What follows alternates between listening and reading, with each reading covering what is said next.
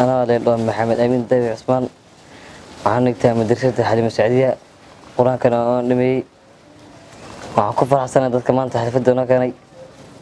Waxaan u mahadcelinaa dadkan xalfadda noo soo dhiibay maanta insha allahu. Waxaan rabaa inaan codsado waxbarasho kale.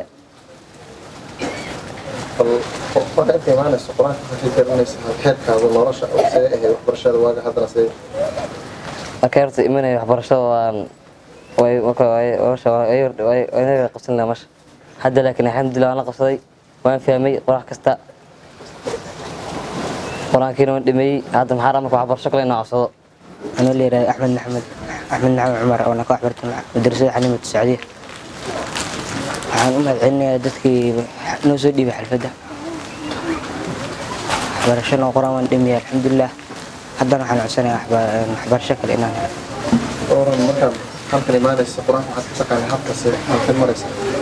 hadda qur'aan waan dhameey alxamdulilah laakiin markaa hore waxaan maraya hoos. Ansal xuseen xasan madarasatu xaliima sacdiyaan dhigtaa waxaan ka mid yahay ardayda qur'aanka dhammaystay maxaa rabaa waxbarasho in liisii gudbiyo. Markaa meesha imaanayana qur'aanka waan ku xumaa haddana waan ku fiicanahay. Bismillaahi anigoo magaceyga la yidhaah sumeeye cabdi. Maantana waan qof waxaan salaamayaa ardayda mujarsida maantana waan ku faraxsanayaa xaflada noole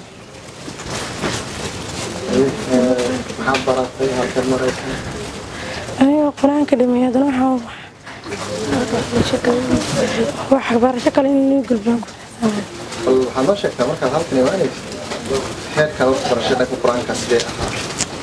noo imaana waxbarashada waan ku xumaa haddana waan ku fahmaa bismillaahi arraxmaan arraxiim الحمد لله رب العالمين والصلاة والسلام على أشرف الأنبياء سيدنا ونبينا وحبيبنا وقائدنا محمد بن عبد الله وعلى آله وأصحابه وسلم تسليما كثيرا أما بعد آن، أولا سيدتي وسادتي أقدم إليكم تحية ممزوجة بالحب الصادق باتفاق الاحترام التي تأتي من أعشار قلبي وهي سلام الله عليكم وعين الله ترعاكم ما دمتم أحياء التي أتت من مدير المدرسة مدرسة والطلبة والطالبات كما نعلم أن هذه المدرسة تدرس أيتام كثير وبعضهم قد تغر- قد تخرج بالقرآن الكريم وبعضهم على وسط ال- وسط التخريج إضافة إلى أن هذه المدرسة تحتاج إلى بناء فصول جديدة لأن التلاميذ لا يتسع ثلاث فصول فقط وعددهم أكثر من الفصول. لذا نطلب إليكم أيها الأحبة نطلب إليكم أيها أيها الأحبة أن تقوموا بناء جديدا وأن توسعوا هذه المدرسة لأن لأن الأبناء والبنين الذين تخرج في هذه المدرسة يحتاجون إلى يحتاجون إلى يعني غير القرآن لأنهم يتعلمون القرآن Een, walaalaha muslimiinta ah ee barakaysan ku nool cariga ingiriiska gaar ahaan magaalada laster oy hogaamiso walaasheen ubax xaashi oo aanan weli aanan is arkin. Madarisadana mas'uulka ah iyada iyo garbaha ay ku duulayso runtii qof keliya wax ma qaban karo laakiin dad wanaagsan baa wax la qabataa saan dareemayo? Madarisadan waxay soo socotay waqti dheer.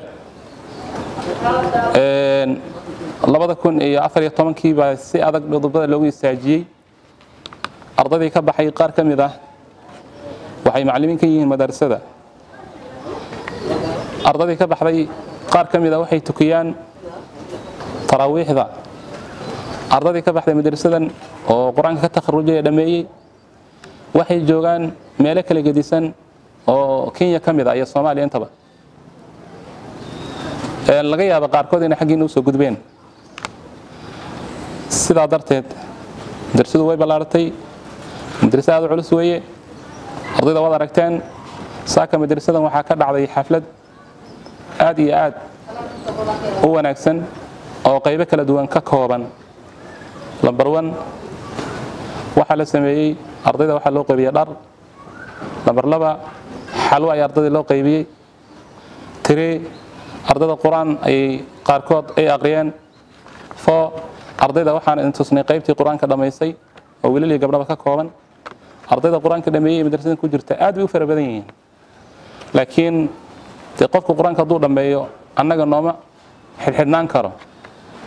Waddo aan ku xajinana ma hayno?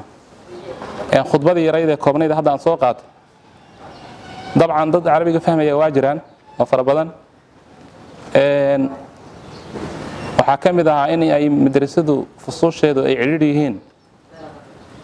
Oo dee saddex fasal iyo meeshii fasal gooni ahoo loogu kariyo raashinka.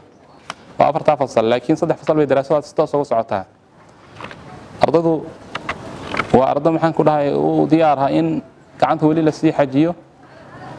Marka haddee kol hadduu ardayga qur'aanka dhammeeyo waxbarasho kale unbuu sii raadsanayaa. Marka dhinaca ardayda intaa kaga baxo waxaan aad iyo aad ugu mahad- mahadnaqayaa.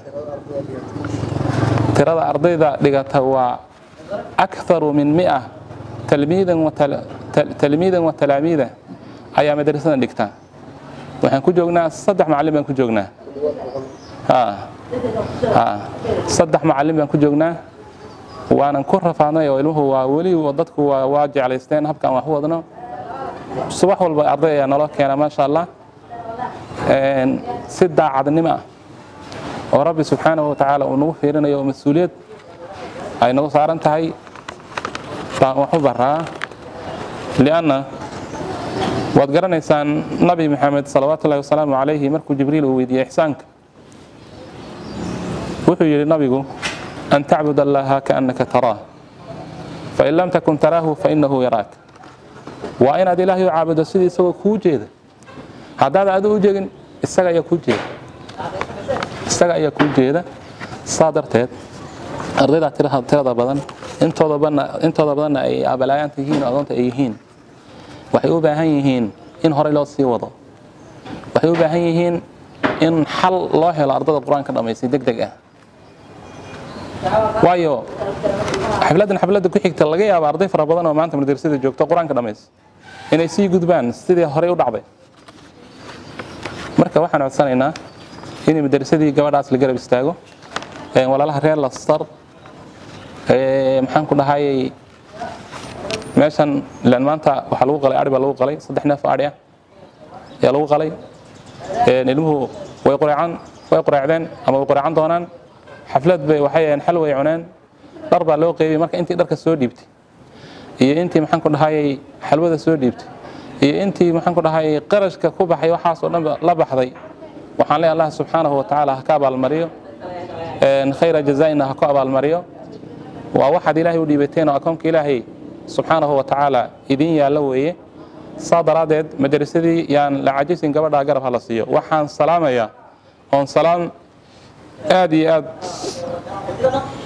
Maxaan ku dhahayay xubbi fara badan iyo kalgacayl fara badan uu la socdo aan salaamayaa. Mar labaad masjidka la dhaho masjidulquba ee ku yaalla magaalada lastar culimmadiisa iyo atabaacdiisa iyo taageerayaashiisa dhammaantiin waan idin salaamayaa waxaan idinku salaamayaa salaamullahi calaykum assalaamu calaykum waraxmatullahi barakaatu gabadhaas waxaa weeye aad garab siiseen waxaan idinka codsanaynaa in la garab siiyo.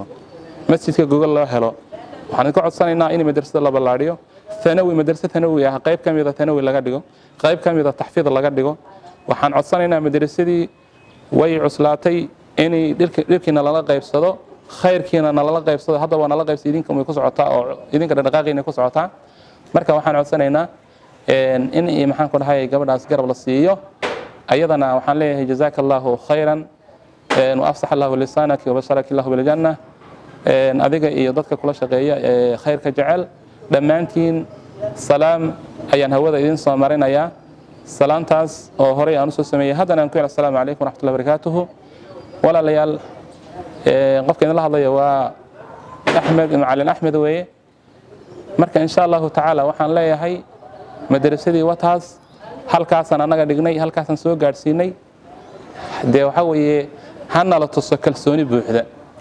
Kalsooni buuxda hana la tusiyo oo yaan maxaan ku dhahayay nala dhayeelsanin. Maxaan ku dhahay waxaan codsanaynaa inay maxaan ku dhahay madrasadii een, idinkaba waad wadaan oo si weyn baad u wadaan haddana inaan sii wada wadno. Oo madrasadii ay noqoto annaga waxaana farxad gelin in qayb taxfiid laga dhigo. Waxaana farxad gelin in madrasadii qayb ka mid ah thanawi laga dhigo. Taasaana farxad gelinaysa. Xaqiiqatan aad iyo aad baan walaalayaal idinku mahadnaqayaa waana ogaada waa madrasada keli ah ee ku taalla xerooyinka dhadhaab ee ku magacaaban agoon ama arday agoon ay dhig- ay- ay- ay dhigtaan. Shaksi shaksi aan agoon ahayn oo miskiin uu soo dhexgeli karaa marka taas ogaada waa wax lagu farxo weye waa waxaad ilaahay subxaana wa tacaala hortiisa aad maxaan ku dhahay aad kaga faani kartaan weeye oo ilaahay subxaana wa tacaala uu idinku abaalmarinaya khayr fara badan